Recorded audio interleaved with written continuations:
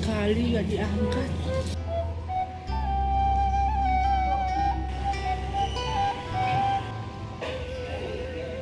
Hah, Bibi?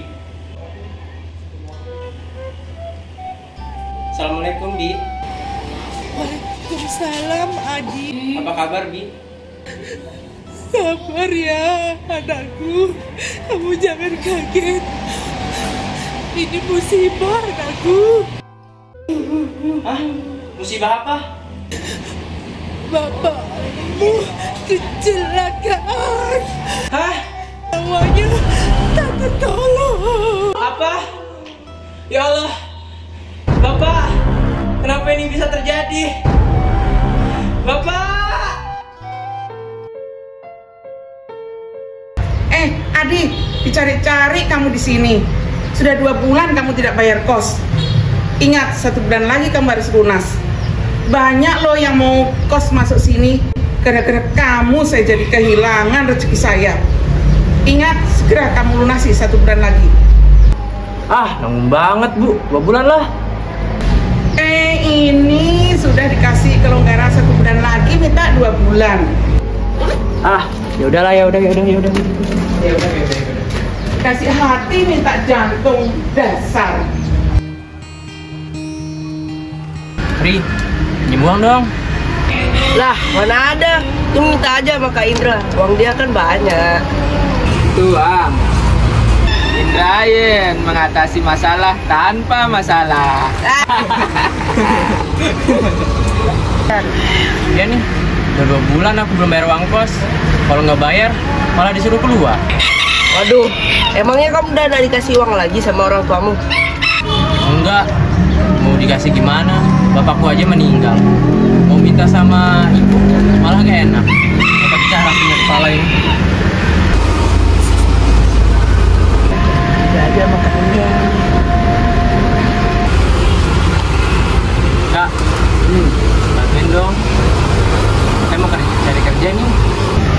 Saya mau kerja apa aja deh. Bener ya, apa aja? Ya kak, apa aja yang penting dapat uang. Yuk, jelaskan Eh, tunggu, tunggu, tunggu. Saya ikut, saya ikut. Udah, tunggu sini aja Mana Lisa ini? Belum datang-datang mau kontrol? Ya, seperti kita ulang juga Yuk,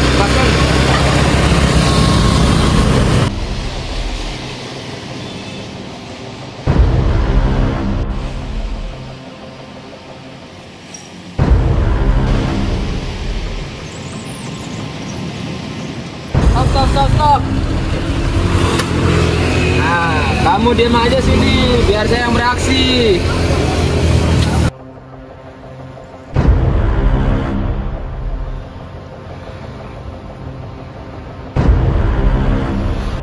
Assalamualaikum, Ma. Waalaikumsalam. Jadi kita ke mall? Jadi dong, Mama udah siap nih. Ya udah Lisa mau pipis dulu ya bentar ya. Udah, sana cepet.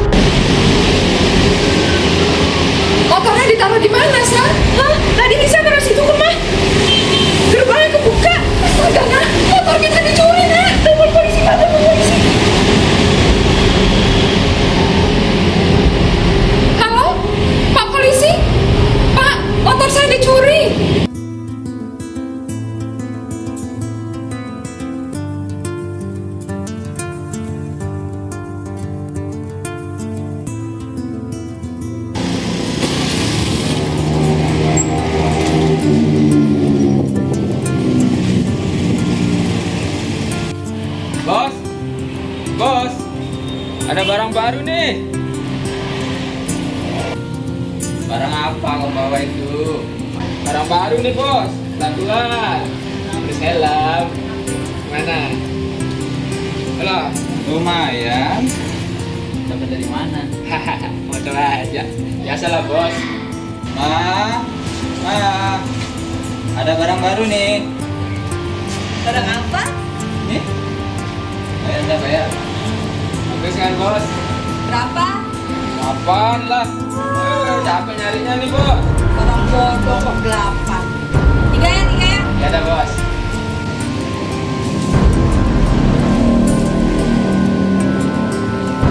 Makasih, Bos ya. Yuk. Kita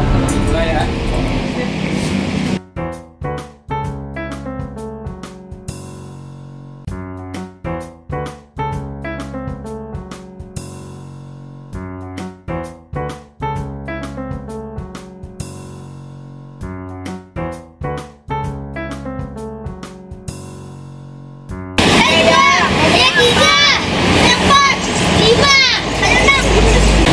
Ibu mau beli apa? Bu, berapa segelas? Oh, satu gelasnya lima ribu, Bu. Ribut sekali kalian ini, Bu. Beli es saja ribut. Bu, tahu nggak ya? Kemarin tetangga saya ada motornya hilang dicuri. ya? Iya, padahal baru ditinggal beberapa menit keluar keluar sudah raib motornya. Wah, sekali itu cepat sekali pencurinya ya. Iya, iya benar bahaya ini. Kita harus hati-hati. Iya benar. Iya. Mas, mas, nggak jadi beli esnya, mas. Nggak jadi bu, makasih ya. Nggak jadi, nggak jadi. Target sudah terlihat. Ya, ya, ya. Ya, pernah. Kita sudah melihat target. Siap, siap, siap. Kita langsung beraksi.